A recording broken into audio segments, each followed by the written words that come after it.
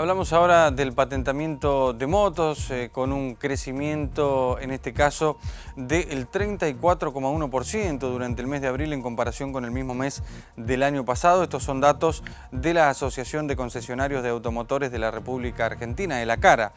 También desde esta entidad se informó que en abril se patentaron 40.066 unidades contra 29.875 del mismo mes del año pasado, lo que representa esta suba interanual de poco más del 34%. En cambio, en la comparación con marzo, cuando se patentaron 42.344 unidades, se registró un descenso del 5.4%.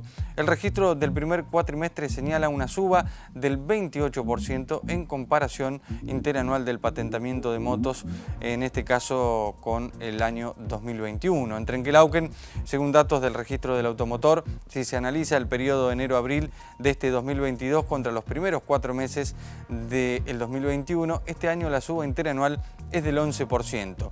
En particular en abril, el mes pasado, se patentaron 70 motos a nivel local, mientras que también en abril de 2021 se habían inscrito 47. Esto demuestra un incremento de casi el 50%. En lo que va del año, el mes de mayor cantidad de patentamientos fue enero, con 78 operaciones, seguido por abril con 70, marzo con 59 y finalmente febrero con 56 inscripciones en Trenquelauquen.